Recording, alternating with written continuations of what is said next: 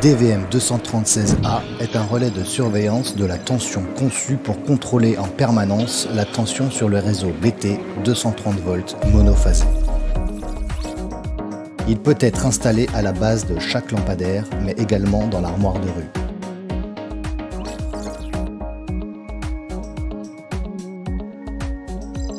En cas de surtension prolongée due à des erreurs de câblage, de rupture de neutre ou de surtension temporaire, le DVM déconnectera l'équipement protégé du réseau basse tension afin d'éviter toute défaillance.